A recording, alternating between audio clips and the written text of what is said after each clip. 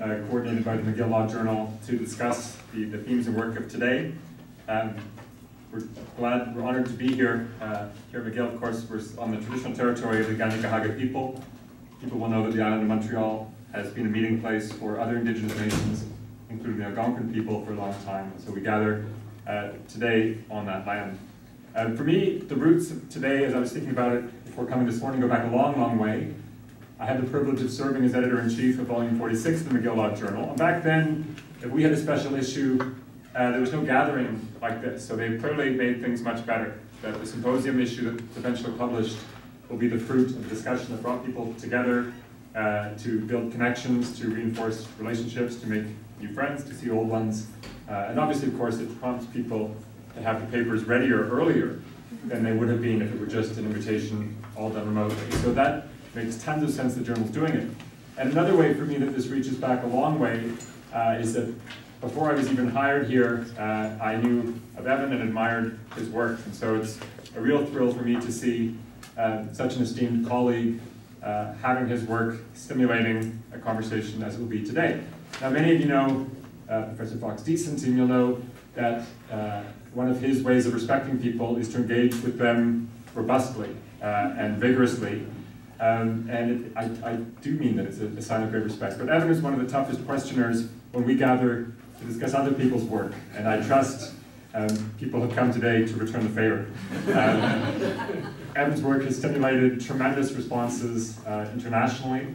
Some people have drunk the Kool-Aid wholly uh, and are sort of fully fiduciary uh, in every setting all the time. Others have a few more reservations. And I think today will be an opportunity to kind of sharpen the sense of what is the analytical uh, value of the, the fiduciary idea? What does it help us see better? What does it help us not see so well? Uh, so I think it's really exciting to be carrying on that work. It's, it's really, I think, kind of inspiring to see the way Evan has taken some of his ideas, um, worked out initially in a more domestic context, and then to see him leveraging them outwards. In a sense, it's almost like Evan's research trajectory embodies that of this faculty of law, which sort of over time I think has come to be uh, from continuing to be deeply rooted here and in the two legal traditions that were sort of present in Quebec law from the outset, but broadening over time to be reaching out to different traditions, different landscapes, different parts of the planet. So I think that's, there's lots of things that make it very meaningful for me uh, that the McGill Law Journal Symposium this year focuses on the themes that it does. Um, so it's great to have you here. Congratulations to the journal and the team. I look forward to seeing the issue eventually. Um, those of you who are visitors today, come back again soon.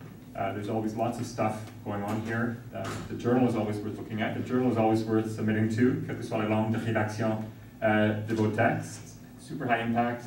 Uh, I regularly hear from people who submitted to the journal how great the editorial team was, so keep that in mind as well.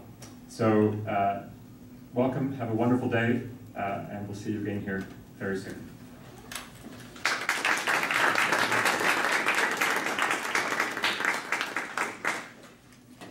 Donc, euh, pas attendre trop trop longtemps, uh, Dean Lecky pretty much summarized a lot of the ideas and emotions we've been feeling in this event. But uh, j'aimerais vous remercier d'être ici en si grand nombre aujourd'hui euh, pour votre engouement. Euh, vous avez été plusieurs à nous contacter des semaines avant l'événement, des jours avant l'événement, beaucoup de questions. C'est très excitant. Ça nous fait très chaud au cœur de savoir que le public est aussi enthousiaste par rapport à ce sujet-là. Um, as the Dean mentioned, we would once again like to recognize the fact that McGill University is located on land that has been used as a site of meeting and exchange among Indigenous people. Um, second thing, so the journal, as many know, is a student-run publication at McGill. Um, we take great pride in the fact that we've always pushed forward theoretical ideas, uh, the idea of transsystemic, looking at different approaches to law, blending private and public law. Um, this is the fourth big symposium in a series of multiple special events. There are some years where we prefer not to do special issues, um, but this year we're particularly excited about the special issue we'll be releasing. It'll be number 63.4, and so you can expect that probably this summer or late fall to have the proceedings published. Um, finally, I'd just like to have a few words about the conference format. So we're trying to have it much more of a discussion than a presentation. So we have three panels, as you can see on the program uh, fascinating guests. Um, what we're trying to do is each of the speakers will have about 15 to 20 minutes to present their papers, then the discussant can go over them with them. And then afterwards, we would really appreciate it if the people in the room can ask questions and develop and explore the ideas, as Dean Leckey mentioned. So without further ado, I would like to invite the panelists for panel number one, Human Rights Beyond Borders. Colin Grey, Chimène Keitner, uh, Trapp, and Emma Robinson.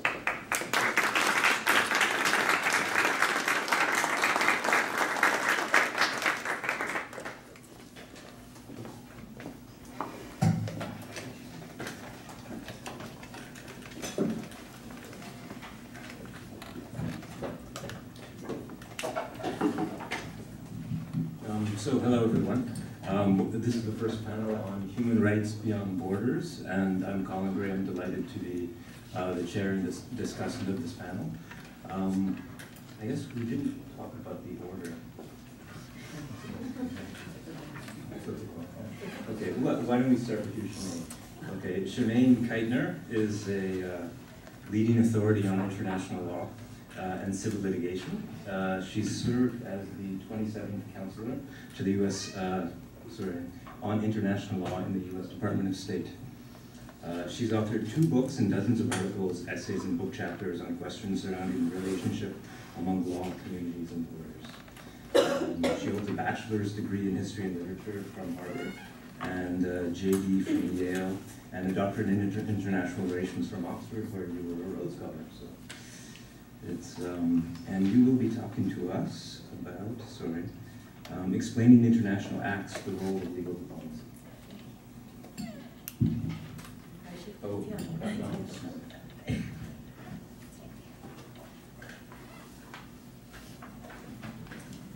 Merci Colin et je suis enchantée d'être ici aujourd'hui. Merci beaucoup de m'avoir invité. Uh, it's delightful to be back in Montreal after many years.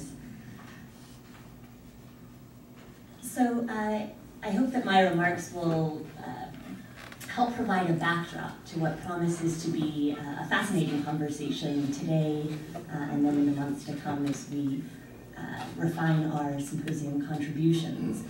Uh, as you heard this morning, and as you no doubt know, uh, we're responding to and drawing inspiration from uh, a really fascinating text produced by Evan Fox-Decent and Evan Criddle that in turn is in many ways the culmination of, of years of work that each of them has done on the uh, role that fiduciary theory and fiduciary principles can play in illuminating aspects of international law, uh, in addition to its more traditional role uh, in helping to elucidate private law relationships.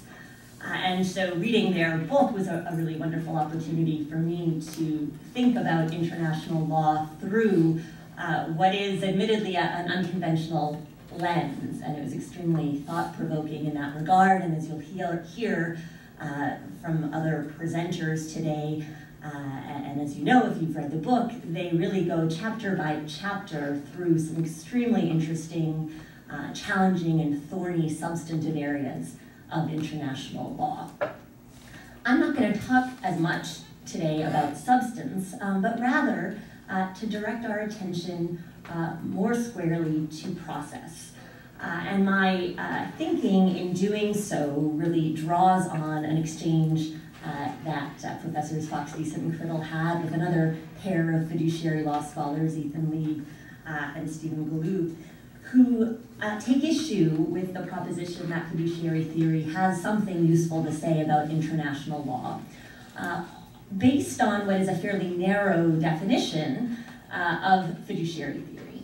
Uh, so in Leib and Galoob's view, fiduciary duties uh, necessarily entail uh, a duty with respect to process, uh, and in particular uh, entail what they call freestanding deliberative requirements. So requirements about how decisions are made, uh, not just what conduct uh, the decisions produce. Uh, and they argue in a, in a short response piece that they published that international law lacks this, quote, rigorous culture of justification that characterizes other instances where uh, fiduciary theory, in their view, is more directly applicable. So I'd like to suggest uh, that international law does, in fact, uh, contain a rigorous culture of justification, uh, that is analogous in some ways, and then probably different in others from the cultures of justification that exist uh, with respect to certain domestic law norms.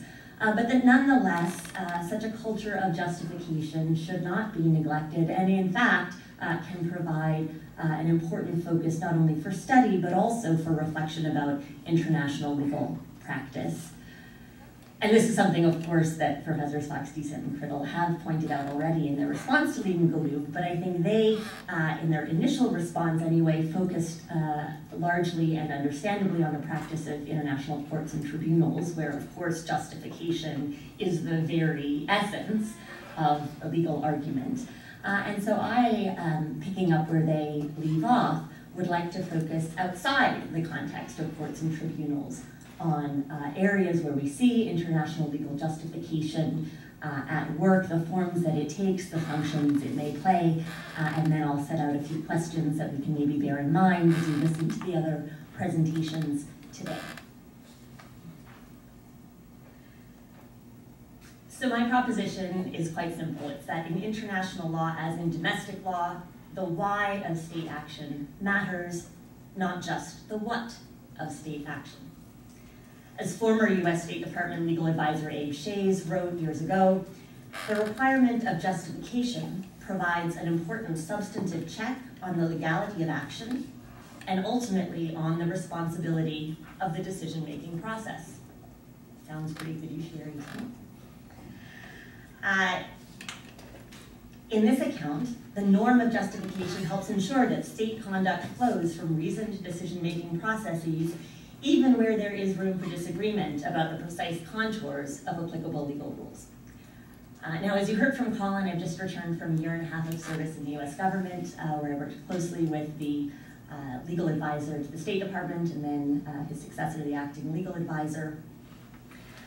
And looking to uh, the speeches and remarks of foreign ministry legal advisors, not just the US legal advisor, I think we start to get a flavor for what this culture of justification entails and some of the forms that it can take. Uh, Iain Macleod, who's a legal advisor of the UK Foreign and Commonwealth Office, has described the role of the foreign ministry as both, quote, providing good legal advice, drawing on the right expertise, and, quote, engaging with the outside world to explain what the law is and why that is the case. Uh, and in this account, outside world comprises all of us.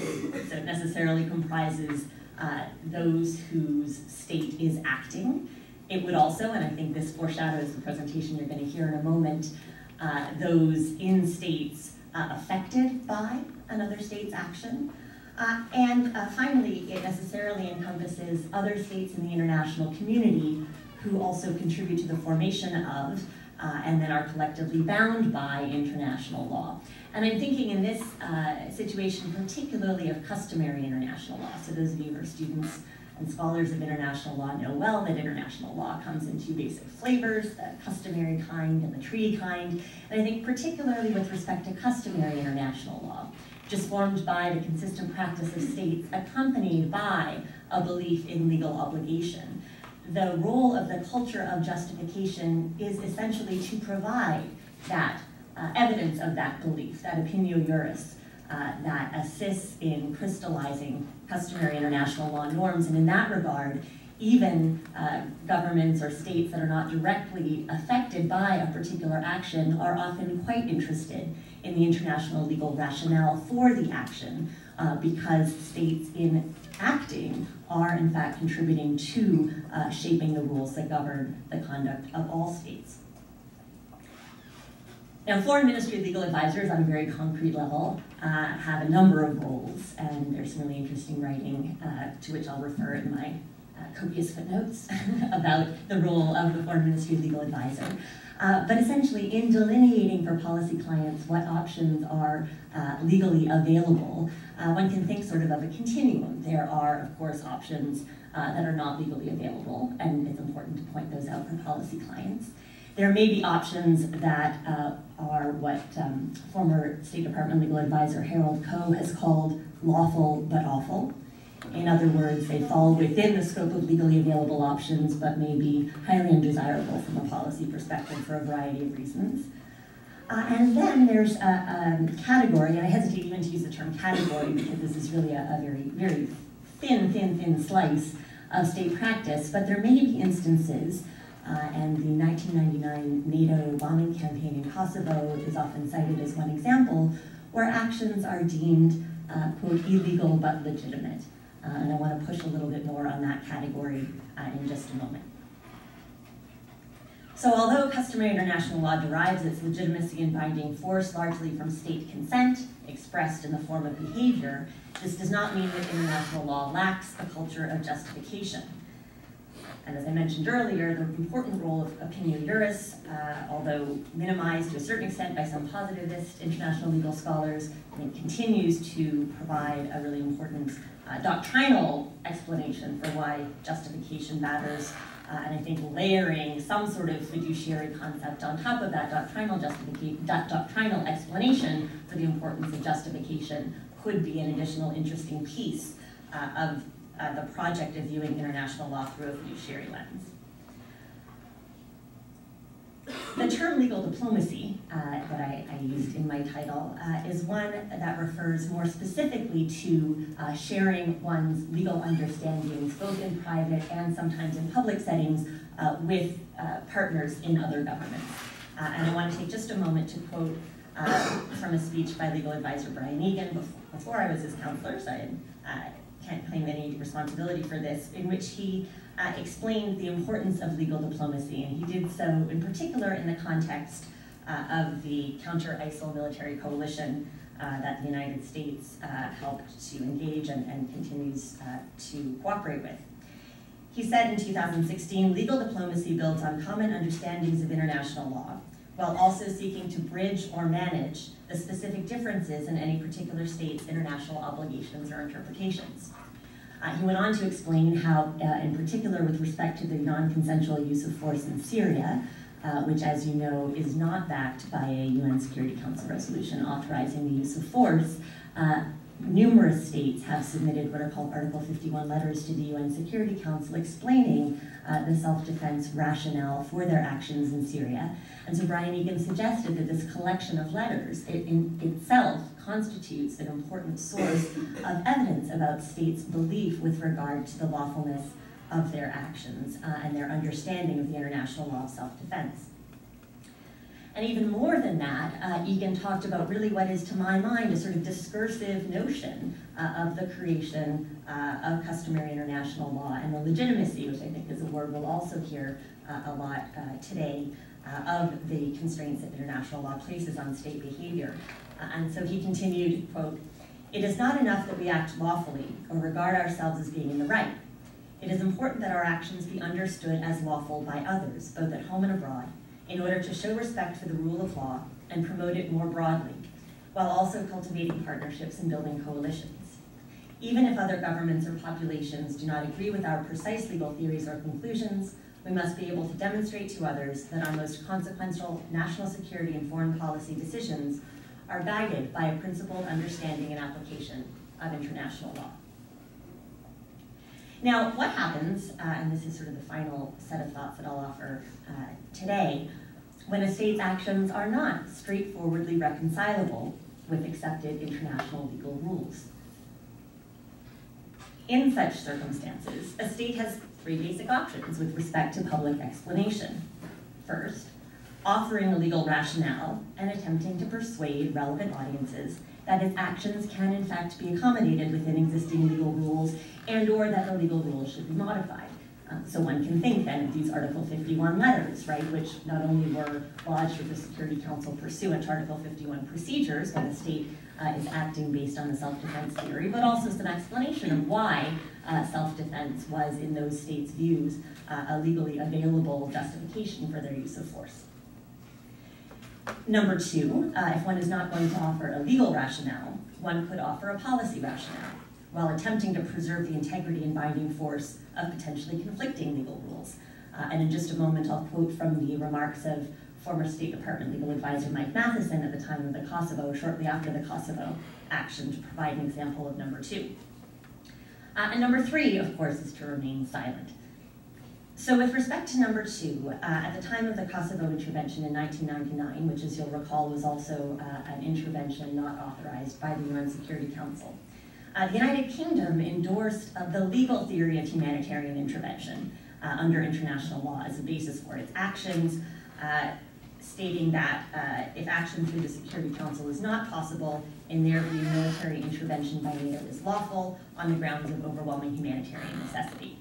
Um, however, other some other members of NATO, including the United States, did not go so far as to adopt that legal rationale. Uh, and as acting legal advisor Mike Matheson explained, uh, instead offered uh, the following thoughts. He said there was a broad consensus within NATO that armed action was required to deal with the intolerable, intolerable atrocities by the Federal Republic of Yugoslavia and Kosovo, but also a shared concern that the chosen justification not weaken international legal constraints on the use of force. As a result, he continued, NATO decided that its justification for military action would be based on the unique combination of a number of factors that presented itself in Kosovo without enunciating a new doctrine or theory. Now, that was fine where it stood, um, but of course that hasn't been the last uh, use of force absent Security Council authorization, although um, to be fair, these uses of force have been infrequent uh, leading Jack Goldsmith uh, to observe at the time of Russians, uh, Russia's annexation of Crimea uh, that there was much discussion of, quote, the precedential value of the Kosovo non-precedent precedent for Crimea.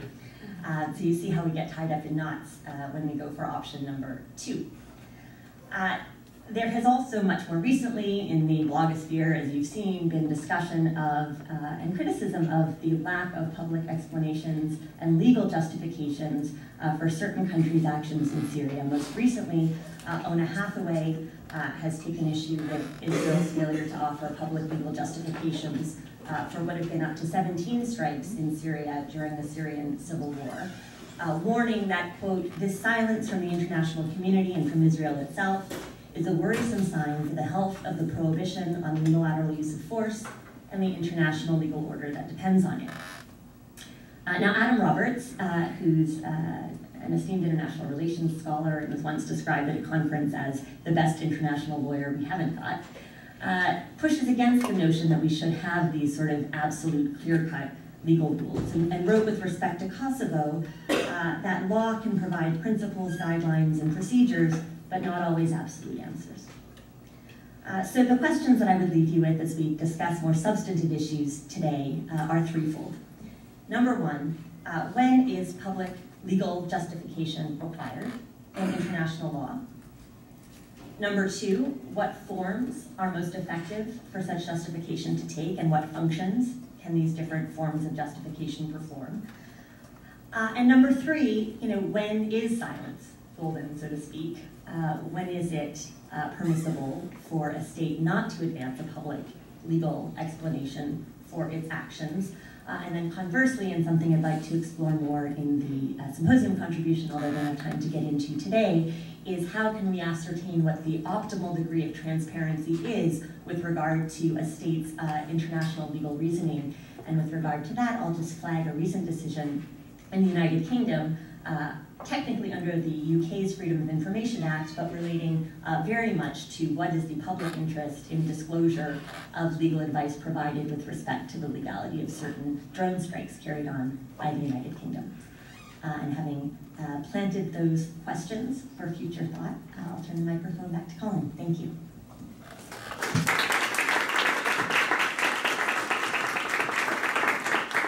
Thanks very much, Chimène.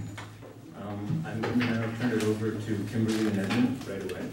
Um, I'll just, so Kim, uh, Kimberly is senior lecturer uh, in public international law at University College London, um, and she's the co-editor of Current Legal Problems. She joined the faculty at UCL in 2012, and prior to that, she had been a lecturer at um, Newnham College uh, and an affiliated lecturer at the Faculty of Law, University of Cambridge where she also did her uh, LLM and her PhD. Um, Kimberly is the author of State Responsibility for International Terrorism, by, uh, published by Oxford University Press in 2011. Edmund is a master's and PhD student at uh, University College London, and you're working on PhD uh, on international human, humanitarian law and the regulation of state support uh, to participants in armed conflict. And Kimberly is one of her directors. So, okay, and I'll turn it over to you.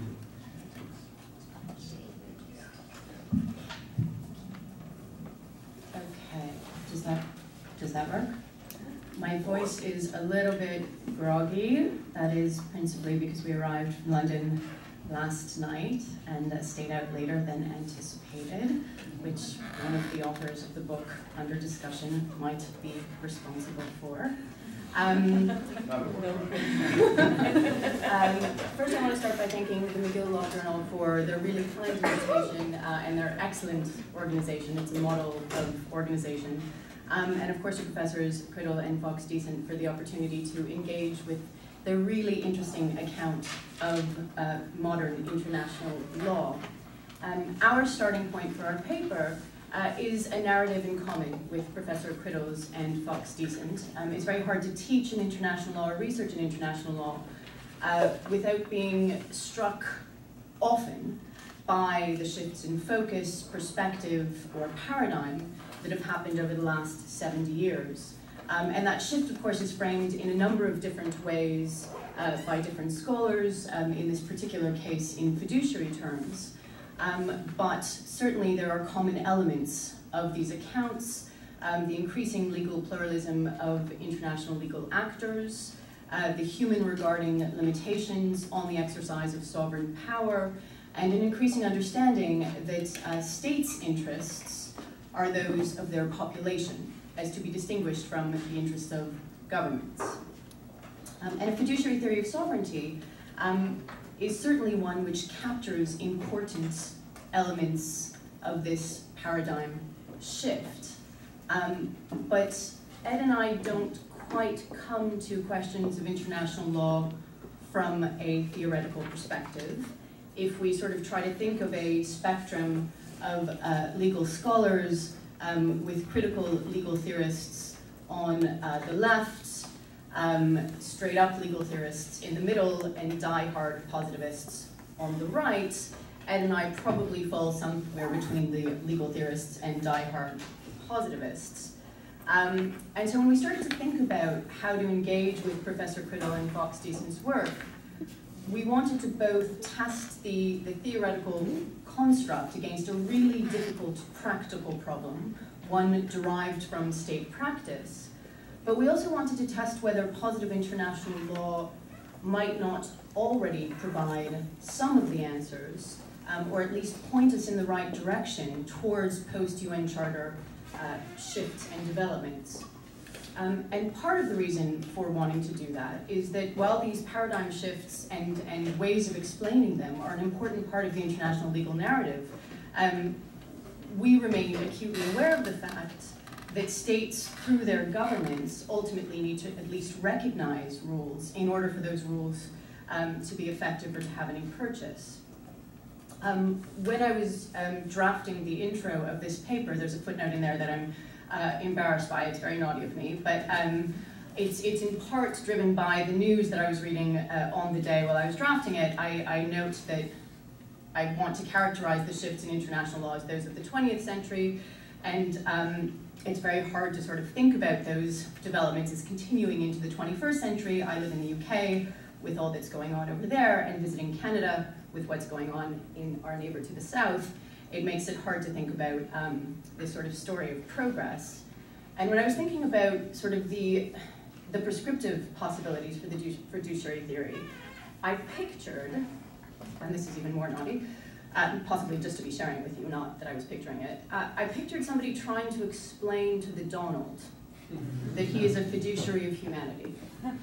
Um, now, assuming he could pronounce the word, um, and that somebody could manage to take this incredible work and sort of distill it into one page of 14 point, 14 uh, font bullet points, um, I, I, it strikes me that it would be a stretch to sort of um, get the Donald on board. Now, the fact that some states might not be willing to sort of be, to drink the Kool-Aid, um, isn't obviously a, a reason for rejecting a theory or for criticizing it. And in fact, depending on the government, it may even be a reason to wholeheartedly embrace the theory.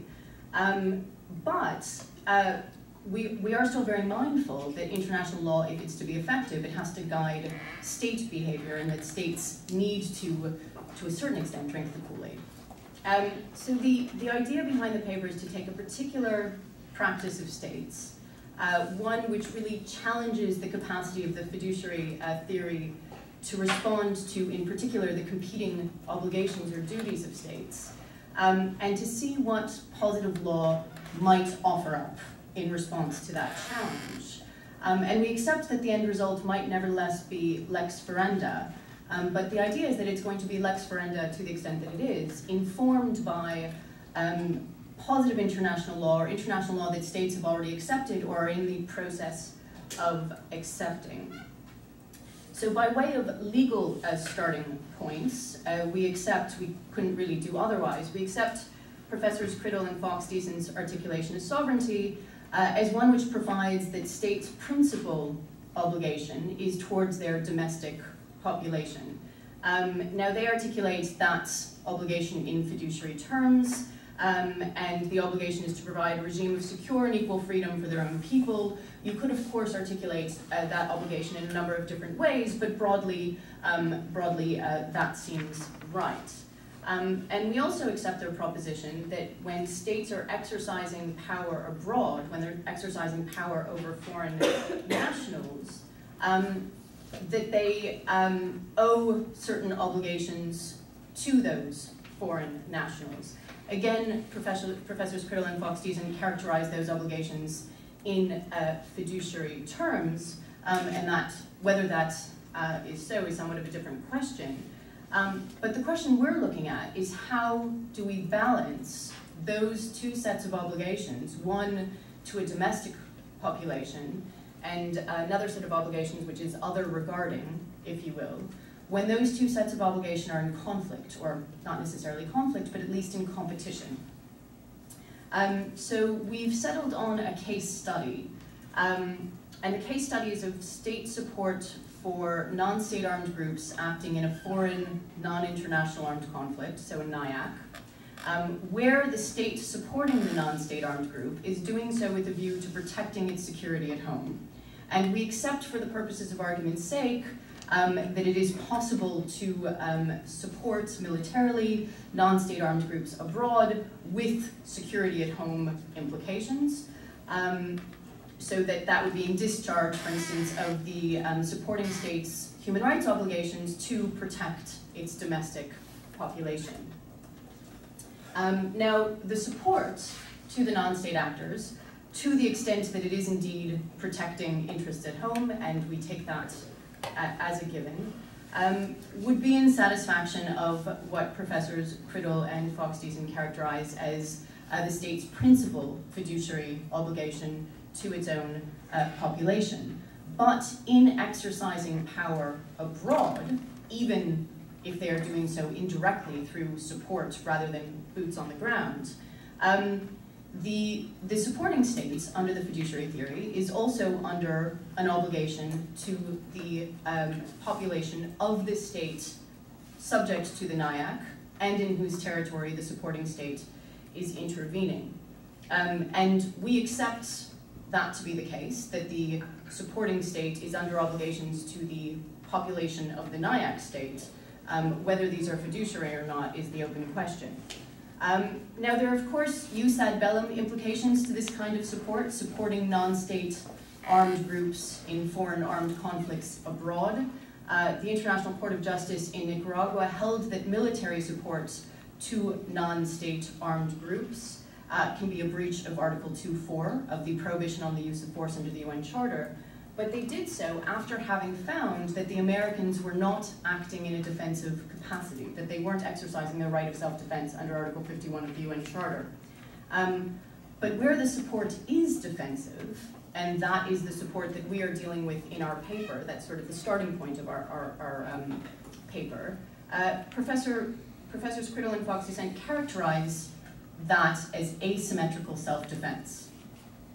Um, and in terms of the fiduciary, the uh, sovereignty as fiduciary theory, um, it seems to suggest, or my understanding of their work, is that the defending, intervening, supporting state, however you want to characterize them, the state that is supporting non-state actors in another or a foreign armed conflict, um, their theory is that they, that state, the supporting state, is acting as a surrogate sovereign um, in the territory that is subject to the NIAC. So they are effectively just taking the place of the territorial state.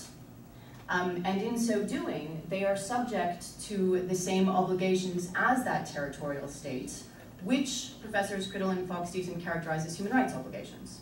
So they take the view that when um, a foreign state is acting as a surrogate sovereign in another state's territory, whether because they're engaging in humanitarian intervention or they are um, engaging in asymmetrical self-defense, and they apply the surrogate um, sovereign to both of those cases. Where they are acting as a surrogate sovereign, they take the view that human rights law provides the applicable legal framework. Now, this is obviously not the case as a matter of the lex lata, as a, as a matter of the law that as it applies today. Um, a non-international armed conflict in a state's territory shifts the applicable legal framework. Um, so while human rights might continue to apply, it is human rights as interpreted through international humanitarian law. Um, and in respect to very important rights, like the right to life and the right to liberty, it is in fact IHL, international humanitarian law, that provides the standard of behavior for states, even though the applicable law is human rights, because human rights is being interpreted through IHL. Um, and so our starting point is that IHL is in fact the applicable legal regime which provides the minimum yardstick of protection for the population that is subject to the NIAC. So we don't accept the view that human rights law um, is the, uh, is the uh, minimum yardstick of protection.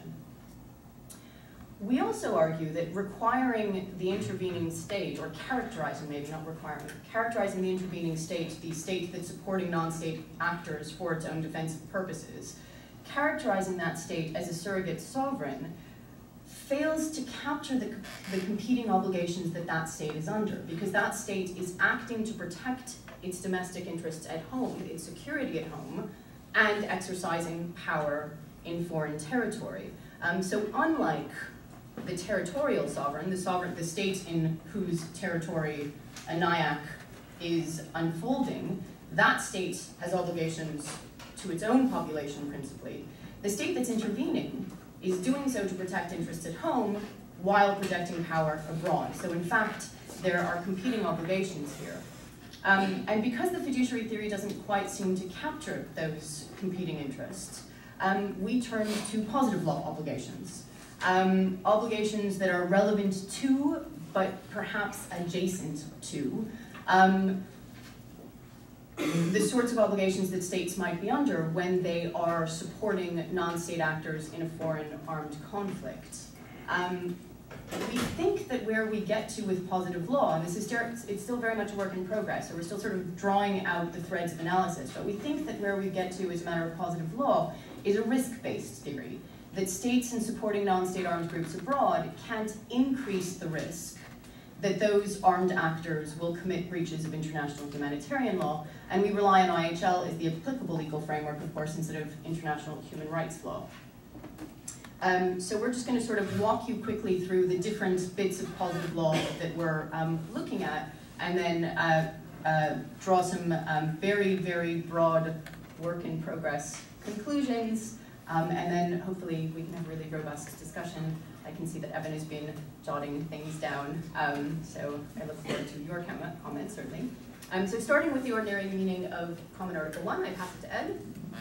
Uh, good morning, and I'll just add my thanks to the organisers and to the authors. Um, it's uh, great to be here and uh, to be having this conversation. Um, so underpinning a lot of our thinking is the sort of starting point on the positive law basis for what might be described as duties uh, on support is Common Article 1 of the Geneva Conventions. Um, so this is quite a well-known obligation. Uh, states have undertaken to respect the conventions, i.e. comply with them themselves, but also to ensure respect for them, uh, which sort of suggests some element of getting others to comply um, in, in some form and to some extent. And it's that second part that sort of provides the textual hook for us um, for identifying what the fiduciary responsibilities of supporting uh, states would be. Uh, obviously, that's subject to the fact that, in a sense, getting sort of near IHL compliance probably falls quite a long way short of a regime of security called freedom for humanity and kind of the particular fiduciary model um, that, that's being sort of discussed in, in this work. Uh, but as Kimberly says, it's um, I think that flows in our view from the positive law as to how far IHRL can go and can't go when it comes to the regulation of armed conflict. Um, and perhaps some of this could also be seen as reflecting some of the points made in, in the book about sort of states of emergency and, and some of those other kind of considerations. Um, obviously, trying to sort of build on these two words, ensure respect, is quite a sort of major undertaking, um, and it, it's part of the debate that's been going on for, uh, for many decades now in one shape or form. Um, I mean, some of the options that are kind of relevant, I suppose, to this debate as to what the effective verb might be. There's a sort of well-established or well long-argued view um, from Fritz Kalshoven that essentially saw this as simply a kind of moral exaltation, which wasn't to say it was unimportant, but that it didn't really sort of play out at the realm of sort of positive, effective positive law. Um, that probably ties less well to the kind of the idea of fiduciary model that's being discussed in this case, although in a sense that exhaustive policy isn't uncharacteristic of, of some elements of, uh, of domestic fiduciary law. Um, at the other extreme, you could have the argument which the ICRC has been putting forward, which sees this as being an obligation um, on all, the, all states, in a sense, to cooperate and to use their sort of um, influence to bring IHL violations in a life to an end. Um, so that sort of, you know, fits in quite well with this model, of the sort of shared responsibility of states um, as fiduciaries of all humanity kind of collectively in a bit the same way as is discussed in the book for humanitarian intervention. Um, but in between, the particular point of interest to us is the range of options which focus particularly on supporting states um, and focusing either on an obligation on them to use the influence that they have from providing the support um, to kind of push the party that they're supporting to um, improve its compliance with IHL, um, or and or uh, to stop providing the support if it reaches the stage where there's sort of too high a risk that um, that it will be misused and result in uh, IHL breaches. I think either of those actually can still, as general concepts, be seen in terms, can sort of fit within the descriptive model, at least, of a fiduciary theory, um, that, that these particular duties are imposed by virtue of the state's capacity or its conduct, uh, albeit on a sort of individual model rather than a collective one. Um, the interaction of those duties creates a lot of difficulties, and we've kind of discussed those a bit in, in the paper and can just touch on them now, um, as well as the sort of problems of uh, balancing duties to own people versus um, those in the territorial state. Uh, there's also all of the complexities about what is actually the better way to proceed. Is it better to continue providing the support in order to try and influence, or is it better to cut off and sort of prevent the, the flow of arms and other material into the conflict? Um, obviously the, the two words ensure respect don't really start get, going that far into to answering the this by themselves. Um, so it, it's then worth turning a bit to some of the other areas and some of the ways in which people have developed or supplemented that concept uh, since which um, so one of the one of the sort of supplementary um, uh, means of interpreting respect and ensure respect under Common Article 1 emerges from the International Court's decision in Nicaragua, where it viewed um, uh, the CA1 obligation um, bearing on supporting states, so states that are supporting non-state actors operating in a foreign armed conflict, it viewed that obligation as one of non-encouragement, that states are prohibited from encouraging breaches of IHL. Um, and in assessing compliance with the obligation of non-encouragement, um, the court looks to whether or not the state was aware of allegations of IHL breaches. And that's in fact a really a quite low standard of foreseeability, aware of allegations of IHL breaches. And one of the things that we're trying to sort of tease out here, um, and this, this fits in very well with the idea of justification basically, um, but the flip side of that is whether states are under an obligation not only to inform, but also to inform themselves basically, whether or not states are under an obligation to do their due diligence um, while they're supporting or before they begin supporting uh, armed state actors. Um, the other uh, positive law obligation that we're drawing on a little bit um, is, uh, is in the human rights law context, so at least speaks to um, uh, uh, what the fiduciary theory uh, considers to be the applicable legal framework. Um, and that's the obligation of non-refoulement, which not the refugee law obligation of non-refoulement, which is one that um, uh, professors Criddle and, and Fox deal with quite a bit in their book, but the obligation of non-refoulement in the torture context. Um, and the reason we're drawing on that particular obligation is because it effectively requires states or, or prohibits states from behaving when their particular behavior will increase the risk that another actor will breach international law. Another actor for whom that state is not at all responsible. So it prohibits state A from extraditing or surrendering an individual to state B when there's a serious risk that state B will take that individual and torture them. Um, and what we're exploring is whether or not you can, you can derive a, a more general obligation from that, an obligation not to behave when that behavior increases the risk of breaches of international law. Now, of interest for our purposes is that the non-refoulement obligation um,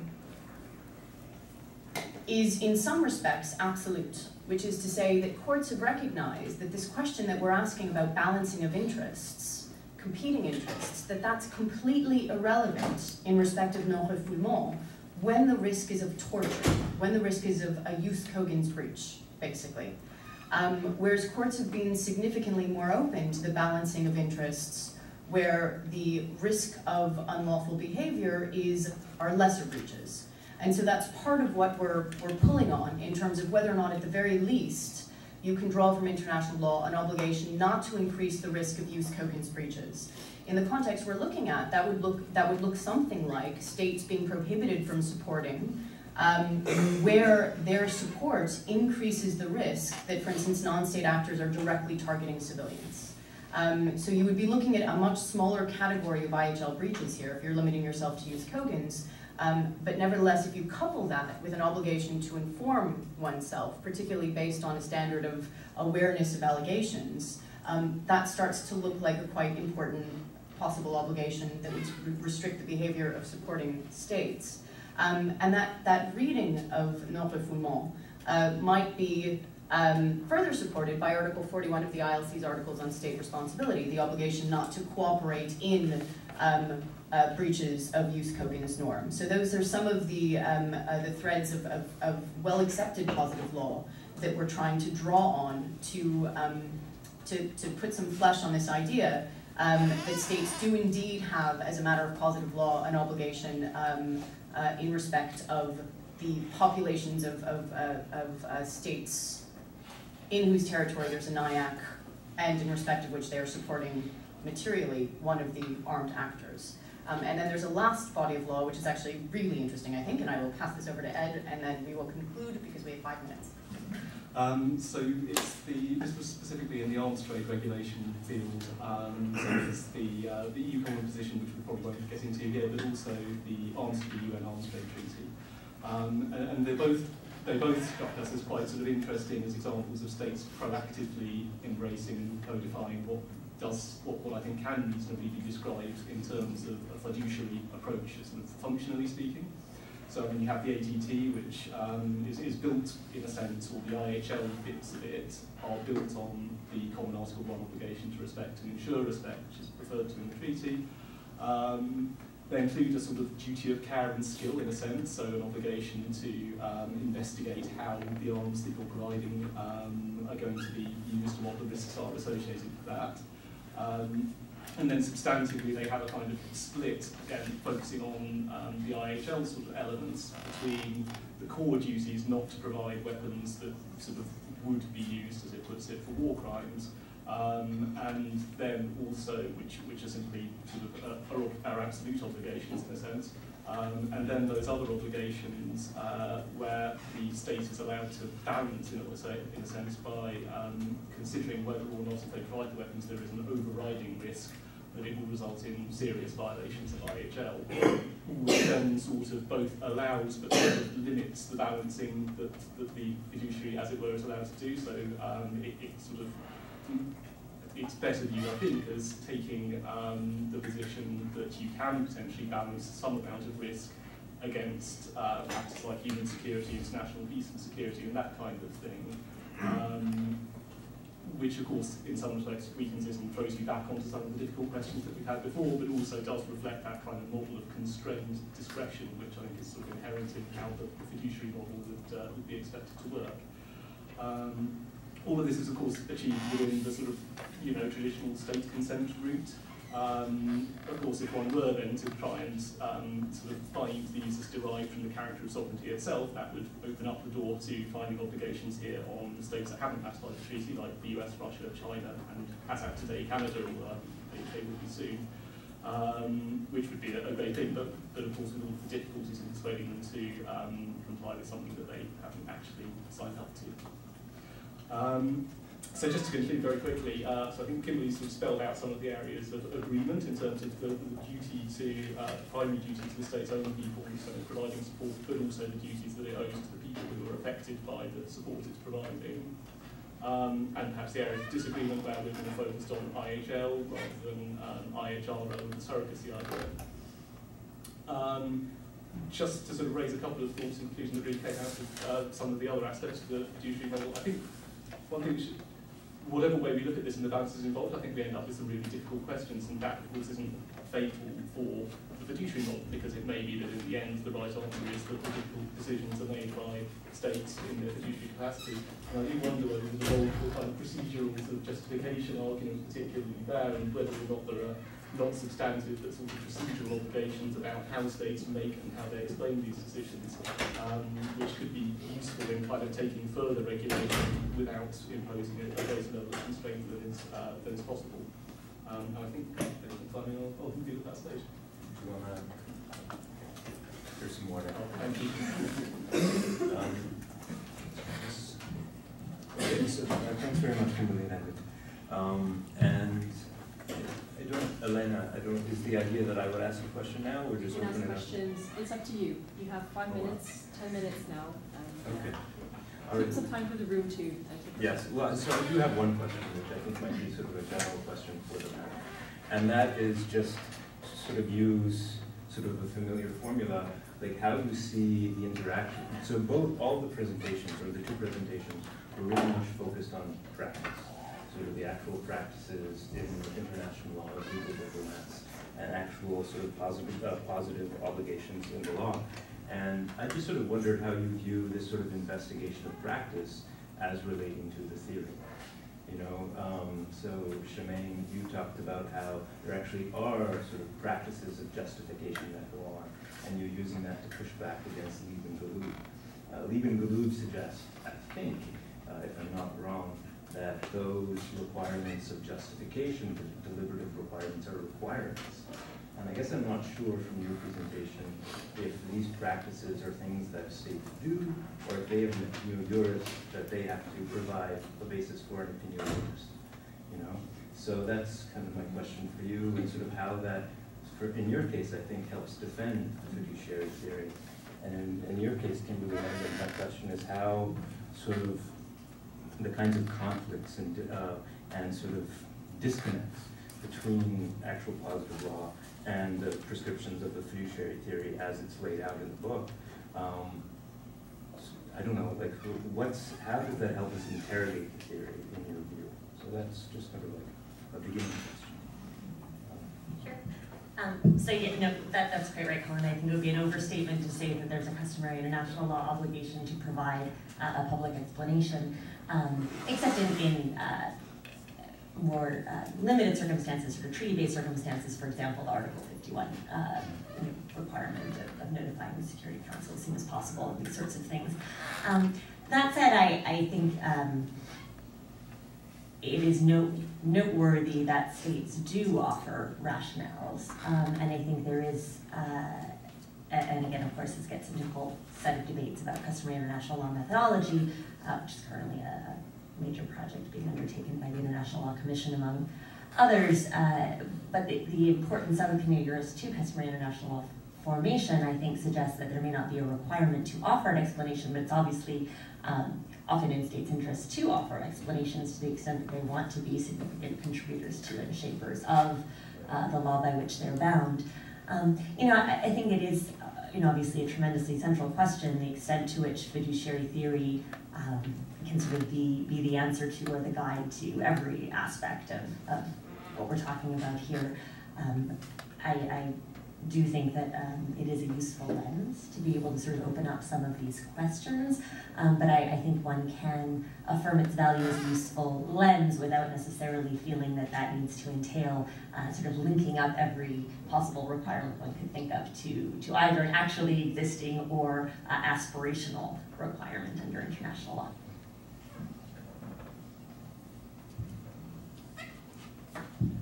Um, so suppose I probably look at it in two senses. One of them is the kind of the more I suppose uh, fiduciary theory is sort of almost a source of law, so means derived from sovereignty. And I think to us in a sense that probably what these cases are suggestive of are the limits for how far that can be taken while remaining a sort of effective system of, of regulation um, and particularly looking at sort of the, the ideas of trying to regulate these issues through IHRL when this structure has been kind of partially already built by states.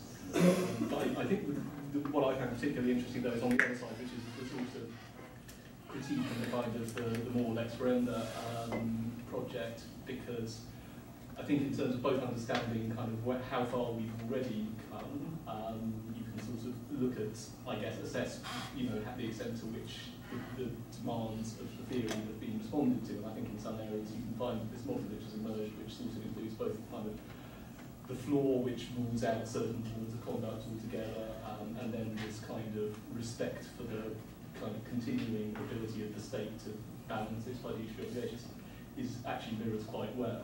Um, and potentially then of course also that can provide the way to look at sort of possible areas of future development in actually I think almost at the moment I think the most obvious or the most interesting example might be the kind of procedural obligations kind of angle but on that side of the sort of fiduciary role and what you would expect from it can help to inform um, where states might be able to kind of develop more further or sorry states or the ICJ or whichever actors you think are sort of relevant for, for developing it.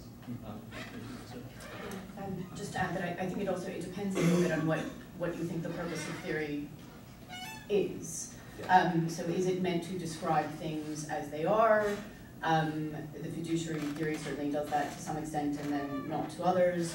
Is it meant to inspire? Um, I read this book thinking to a certain extent of if, if, oh, one, day, okay, let's, let's do that, sure, that's, so, so I think how much you can sort of, whether you can interrogate from what angle, what, what is the purpose of the interrogation, it depends what you think theory is for. I, I as I confessed slash, well, just confessed, um, I'm more of a positivist on, on um, the grand uh, uh, scale of things, um, and so I, I, tend to think that these theories are um, descriptive. They can help us understand things that have happened um, through a new lens in a way that's very helpful to understand particular developments, but also I think they can be aspirational, inspirational, um, uh, uh, even if not ultimately effective. With greatest respect. So at least we end at 12.15, I believe. So we have 15 more minutes for questions. Um, well, thanks to all of you for your presentations. If you'll forgive or tolerate a question from a layman, um, is the fiduciary context less likely to countenance situations in which, for example, non-combatants are systematically denied Geneva prote protections, or and uh, in which uh, countries can allow torture to be conducted on their behalf in third countries.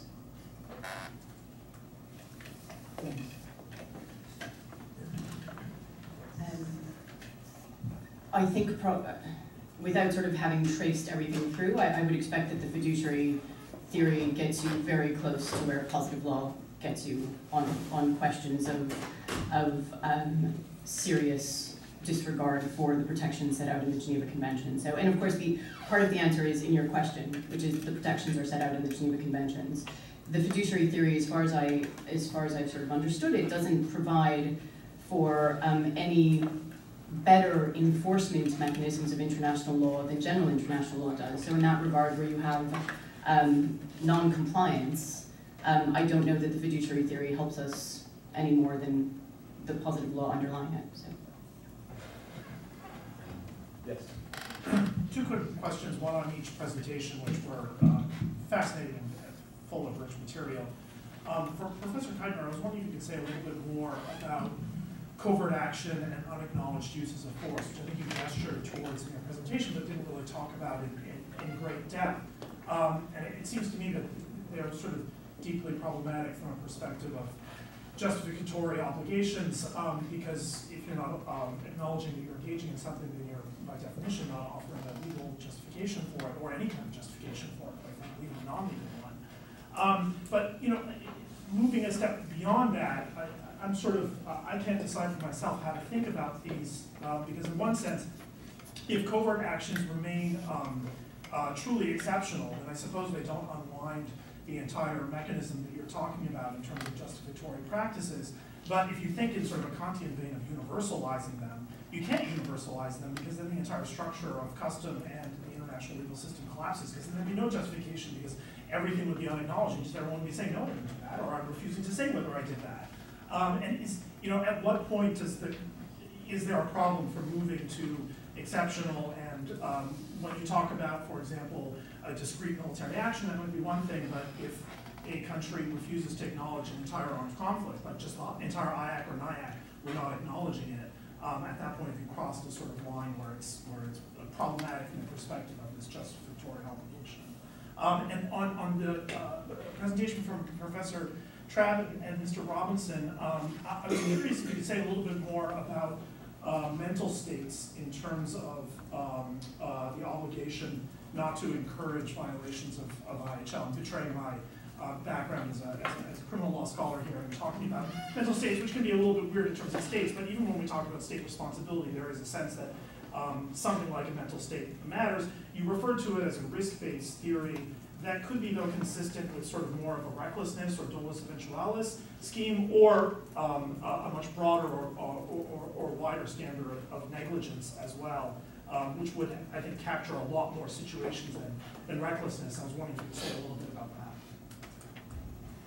Um, Jens. That's a great um, sort of category of act to think about. Um, and I'll put that section to the paper, you know, considering that, I mean, Alexandra Perina has a really interesting article on covert acts, um, to, you know, that I commend to folks who are interested in this. Um, certainly, you know, the kind of Kosovo type category of acts that I was alluding to um, in my remarks, uh, sort of the, the, the, different paradigm, right, where you sort of a, a, an indisputable act uh, that is clearly attributable to the states that have conducted it, and then the question is, you know, whether a, legal as opposed to a policy rationale is offered. Um, the other two examples that come to mind are, are espionage, and so we always we always struggle with this in terms of espionage under international law, right? Um, on the one hand, uh, the prohibition on torture that's been referenced uh, is, is certainly continues to be violated um, by certain countries, but nobody uh, and this continues to be the case. Nobody says that torture is lawful. Nobody uh, denies that it violates international law to commit torture. And so this is an example where what states say actually does matter tremendously. Um, with respect to espionage, it's an interesting category in which you know all states conduct espionage, yet uh, which you know one would think perhaps then leads to a suggestion that espionage must somehow be internationally lawful. Uh, and yet, uh, you know, by and large, spies, when uh, apprehended, are, are, prosecuted, but they're not prosecuted under international law, right? They're prosecuted under uh, the territorial state's domestic law. Um, another category um, is, uh, you know, acts that are um, whose effects may be visible um, or that, that may be deemed to have occurred, uh, but where there are tremendous attribution problems. So here, of course, I'm thinking of the um, which also, I think, poses real challenges in terms, and again, just thinking off the top of my head here, in terms of a, a sort of justification theory where uh, a state may, may, or may not have reasons for wanting to uh, claim responsibility for a particular cyber act. Um, so no, no answers to offer, but I think that that's a really fruitful area to explore and kind of fleshing this out. So thank you for that.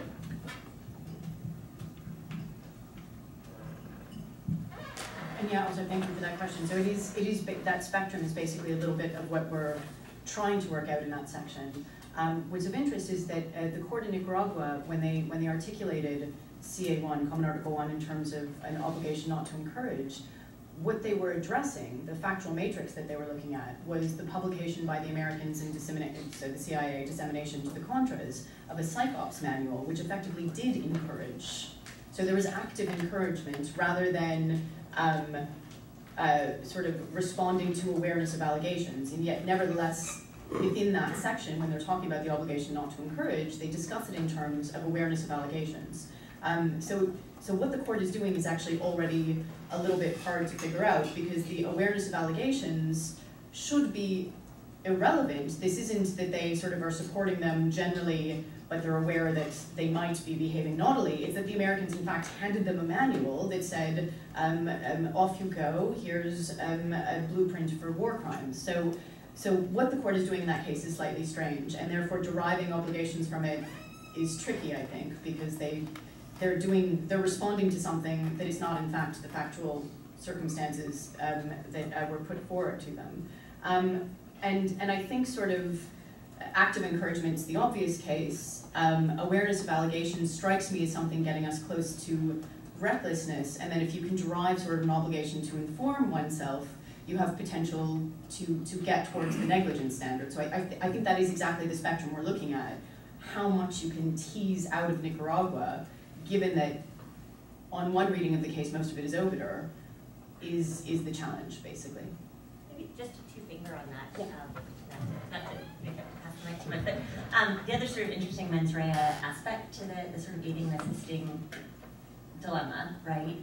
Uh, of course, is So in complicity terms, or in Article 16? Correct. No, it more incomplete, it is, uh, well, but also I think under, under your framework is, uh, in order for certain acts potentially to constitute war crimes, uh, they also need to be accompanied by a certain mens rea. And so what, what degree of awareness of, um, of the, you know, potential perpetrator's mens rea can we impute, uh, to the provider of assistance? I think there's sometimes sort of a, um, assumption that such information is readily available or discernible, um, but, but of course that's not the case. I think what's interesting is that, so the difficulty is that when you're talking about war crimes, you're talking about individual criminal responsibility, and the mens rea is particularized and higher. And when you're talking about IHL breaches, as state IHL breaches, but equally non-state actor IHL breaches, if we can treat them similarly, the, the mens rea standard is much more objective and, and lower. So so the question is also whether or not you character or you frame this obligation in terms of an obligation not to support breaches of IHL or an obligation not to support war crimes. Because if you're framing it in war crimes terms, I think you're importing the higher mens rea threshold, and that in fact decreases the level of the state's obligation because they have to be aware of a higher mens rea. Whereas if you import just the you can't support IHL breaches, you maintain the mens rea at a lower threshold. So there's it's yeah, we're still working on it. that, that is, of course, exactly the argument the UK government used when it placed mitigation on Iran's sales to, um, to Saudi Arabia was essentially the requirement that they should not do it if there was a risk of serious violations of IHL, going after serious violations equals war crime, and therefore Um, Um, thank you very much for these, uh, these great and uh, stimulating presentations. Chimène, uh, to your list of questions that we might about, uh, one that strikes me also as sort of relevant in that context, and they say, of course, uh, uh, you're pushing on a wide open door about the culture of justification. It's, uh, you know, it's mother's milk for, for me who grew, grew up on you know, the David Dyzenhaus, who brought this from South Africa and, Etienne Mureinik. Um, so just, I, I think it's just great generally. One of the questions I've been wondering about is, to what extent can we accept justifications that are offered publicly but after the fact, and then ratified in some public forum as an adequate justification uh, or as an adequate expression of the publicness of the act that's being, uh, being justified. When in some circumstances, such as emergency circumstances or a crisis, um, it's just not it's just not possible, perhaps, to offer an ex ante justification. So Um, I think that's something for us to think about. You you're welcome to respond to that.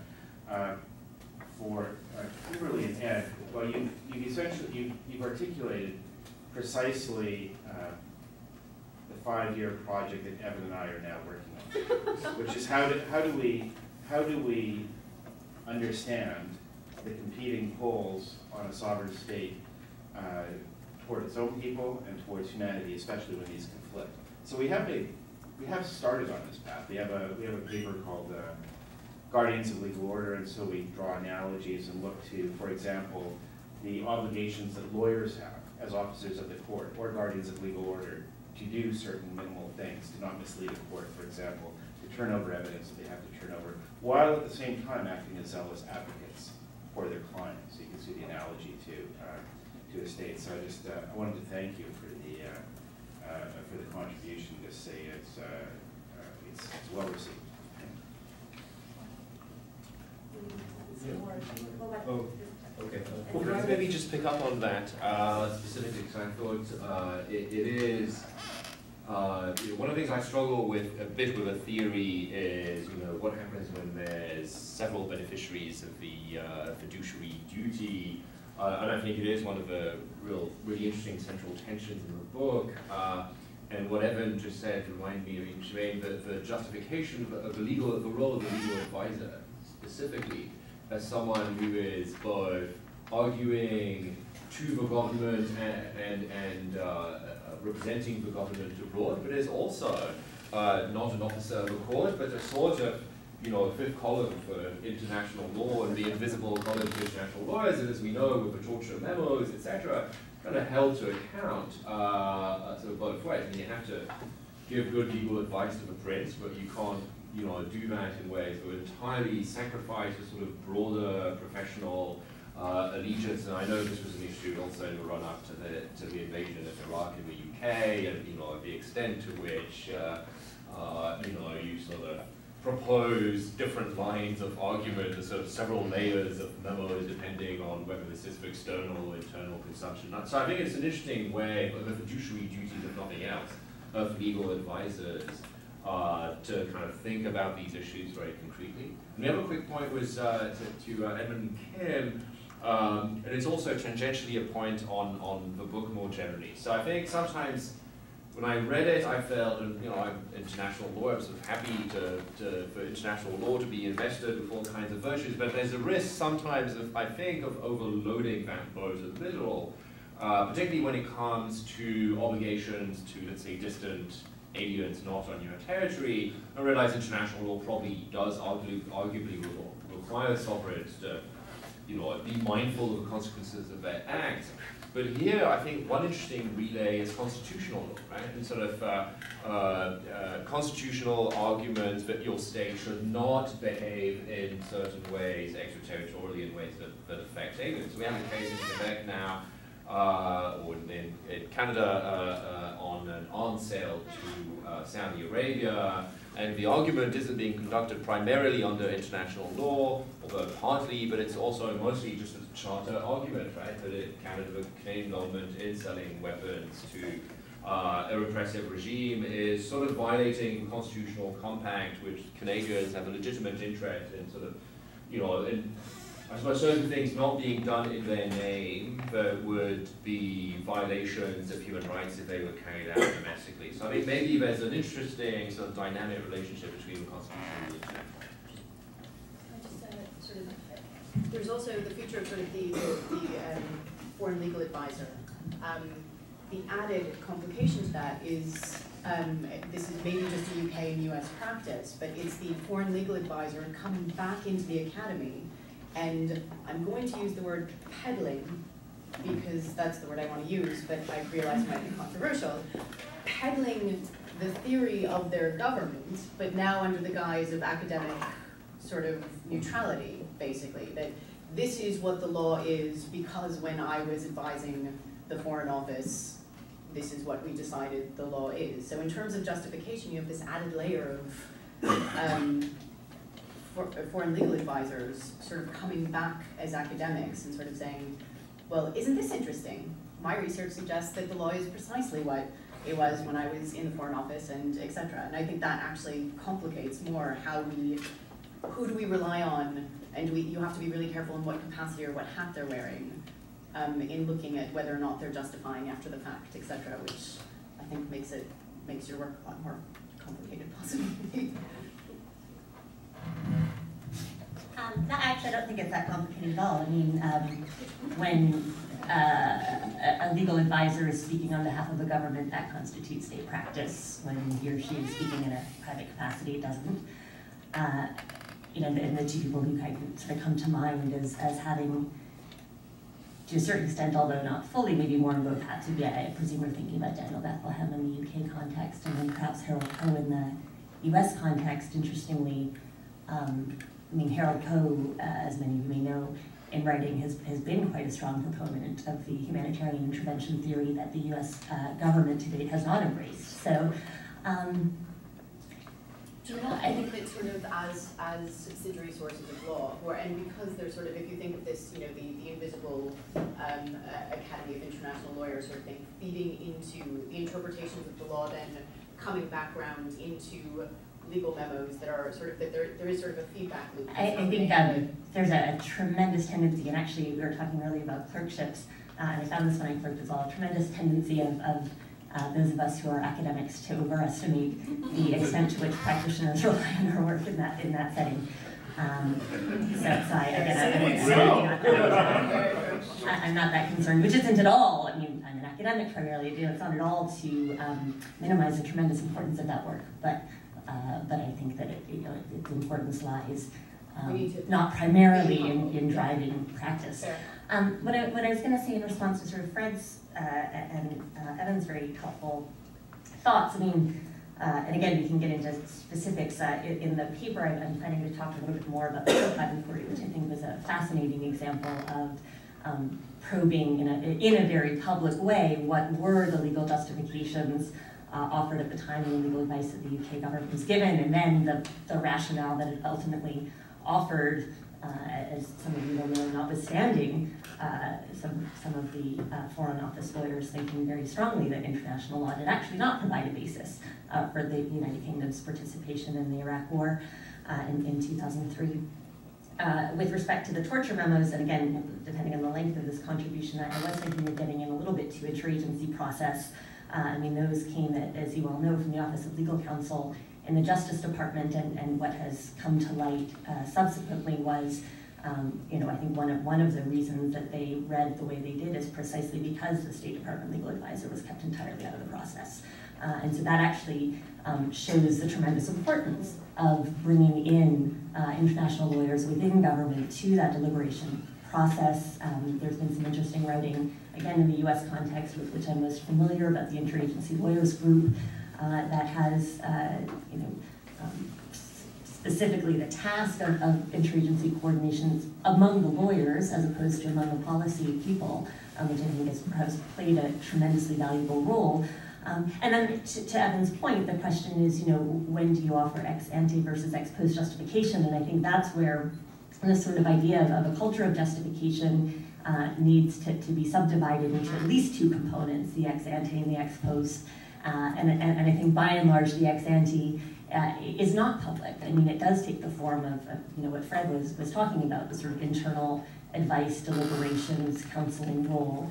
Uh, and then the ex post uh, is, you know, in awareness, in consultation with interagency colleagues and, and on behalf of the government, and awareness of the law shaping role of statements that are made. And so they do serve different functions. I think uh, the Abe Chayes quote that I mentioned in my initial remarks relates in a way more to the ex ante role, that the sort of um, influence that this requirement of justification plays in the decision-making process. Uh, and to that extent, it does have a very sort of, if not constitutional law, sort of administrative law flavor of kind of what, what kinds of processes produce you know, kind of the outcomes with the most integrity in government decision making generally, whether it's with respect to a domestic law issue or a, an international law issue. Um, but then the sort of opinio juris component of customary international law formation means uh, that I think in, in many circumstances, although as I suggested, perhaps not every single circumstance, um, some degree of ex post explanation is extremely useful. Uh, let me just thank you. Thank you, and thank all the questioners, and thank the panelists, Kimberly, Ed, and, uh, sorry, Chimène. And uh, it's been a tremendously fascinating first panel for the day. Thank you.